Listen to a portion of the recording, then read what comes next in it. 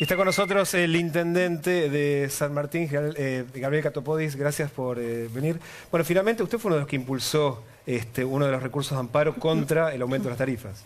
Sí, venimos reclamándole al gobierno que tome una decisión que tiene que ser clara y que es suspender este tarifazo, en particular para los clubes de barrio, pero también para muchísimas instituciones, para entidades sociales que... Sí, el fallo tenía que ver incluso con un hospital de 3 de febrero que había pedido una clínica privada que había pedido asistencia porque el tarifazo era abrumador y argumentaba que no podía hacer frente. Sí, son dos fallos distintos. Hubo un fallo a favor de una clínica, este fallo es a favor de clubes de barrio de San Martín, pero el mismo principio, está viciado la manera en que el gobierno resolvió el nuevo cuadro tarifario, no se convocó a una audiencia pública, la ley dice que las tarifas tienen que ser justas y accesibles y claramente a los clubes de barrio y a muchas instituciones el 500 o el 600% de aumento de la noche a la mañana los puso contra las cuerdas y la verdad que fue un golpe muy duro. ¿Y cómo, cómo se tendría que resolver el aumento tarifario? O sea, en un momento que tuvimos un país donde tuvimos servicios deficientes y tarifas siempre por debajo de los costos. Y seguramente, ¿Cuál es la solución? Y seguramente no llevando la posición al otro extremo, ¿no? Seguramente que en el camino del medio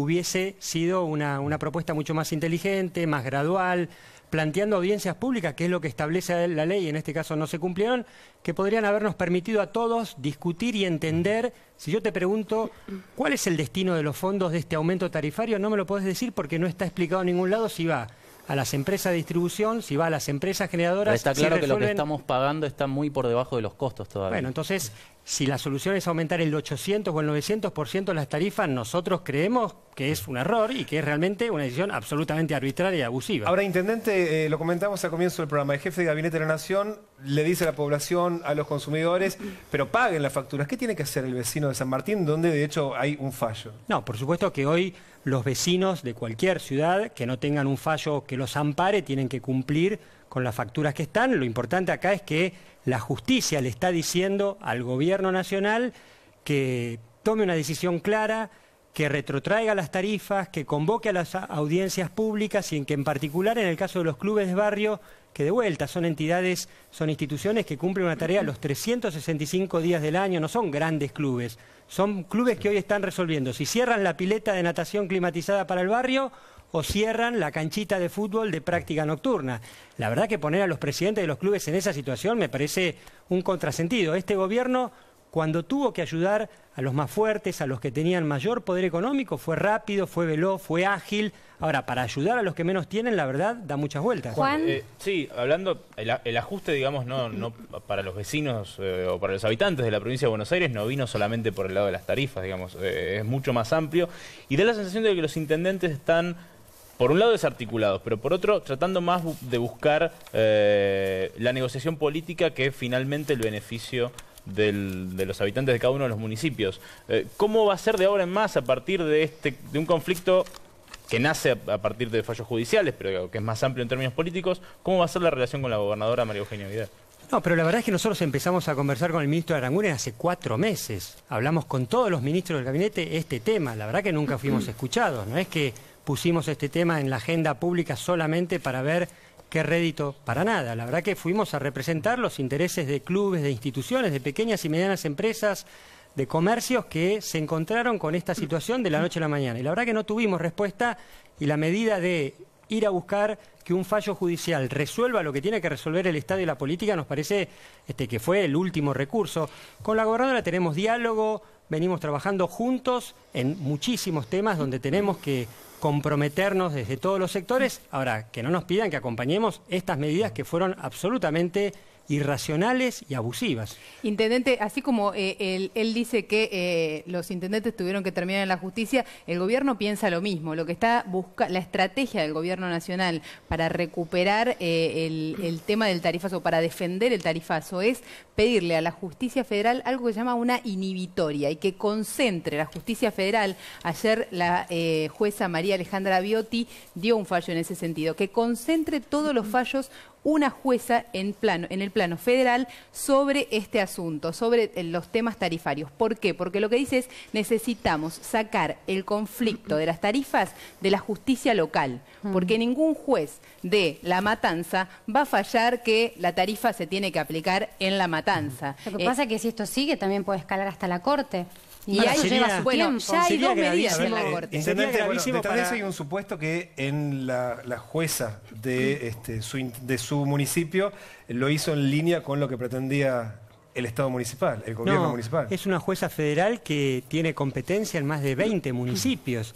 Y la verdad que sería muy grave que el gobierno, que ya les puso la pata y el pie encima a los, a los clubes de barrio, este, hoy además les impida, le, le de alguna manera los, los obligue a que no, a no poder recurrir a la justicia, porque la verdad que esto que está mencionando aquí este, la, la- la colega, la periodista, sí. la verdad que este, es muy grave, es muy grave que el poder político se meta en la justicia y obligue ahora a la justicia a tener que... Bueno, no es una obligación, es un pedido. Si el juez lo decide, es, el- es igual, eh, hace lo mismo que usted, digamos, va a la justicia y le pide que No, decida. pero es una es una es un, este, una actitud que está tomando hoy la procuración y que claramente va a instar a que la justicia en, su conjunto este, evite que los clubes puedan seguir amparándose en defensa de sus intereses. Al margen del debate por las tarifas, en las últimas horas eh, se instaló una discusión sobre qué está pasando en el conurbano bonaerense y especialmente con el justicialismo, en relación con el gobierno de Mauricio Macri.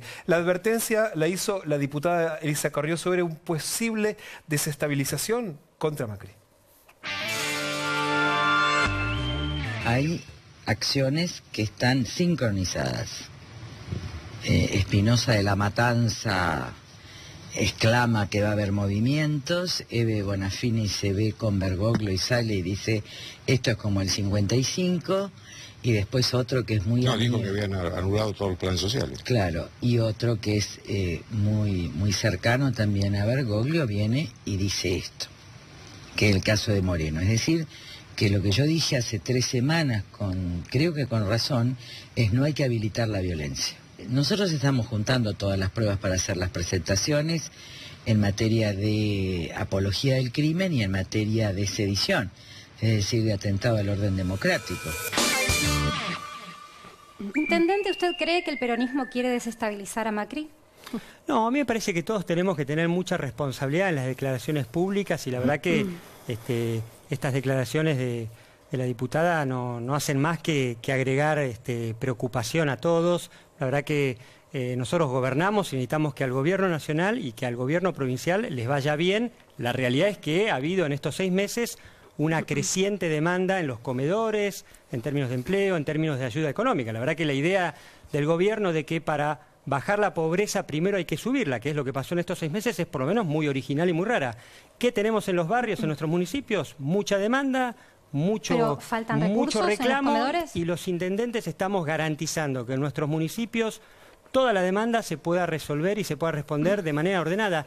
Los sectores más humildes son los que tienen mayor responsabilidad al momento de exigir sus derechos. Y la verdad que los intendentes del peronismo en la provincia de Buenos Aires vamos a garantizar con nuestras políticas sociales que esto realmente se haga de manera muy, Ceci, muy ¿cuánto- contenida. Sí, ¿cuál es el, qué, qué termómetro tenés? Porque hace unos meses Fernando Espinosa, que es presidente del PJ bonaerense, dijo que el conurbano podía explotar, si explota el conurbano cae el presidente. Un diagnóstico que le hizo en una reunión.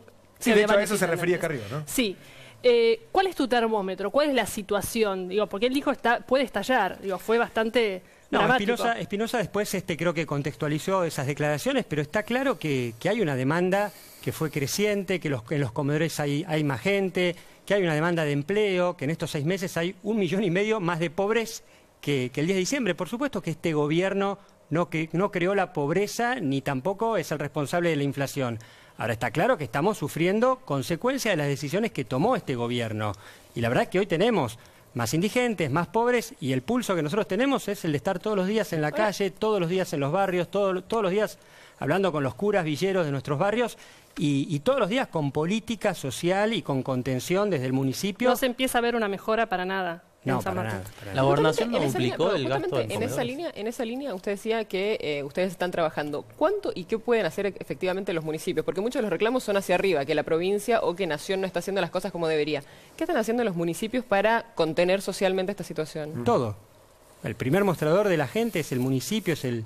es ¿Pero el qué políticas primer- concretas se están llevando adelante? Nosotros tenemos un programa de red este, de primera infancia, estamos construyendo jardines maternales para chicos de 45 días a 4 años, tenemos una política de atención este, a, todas las madres este, en situación de, de necesidad de desamparo que nos permite ir focalizando en cada lugar, tenemos un programa que se llama Volvió a la Escuela, donde logramos que más de 3.000 chicos vuelvan a la escuela, que abandonaron la escuela anterior. Ese programa lo hacemos golpeando la puerta de cada casa, de cada barrio, y tenemos una presencia, el municipio, el intendente hoy este, claramente no, no tiene el perfil y el estilo de hace 15 o 20 años. Hoy estamos trabajando de manera articulada con Cáritas, con la Iglesia, con las organizaciones sociales y con mucha responsabilidad para que realmente las necesidades que plantea nuestra gente se puedan canalizar como, como tienen que ser. Intendente, muchísimas gracias por haber venido. ustedes.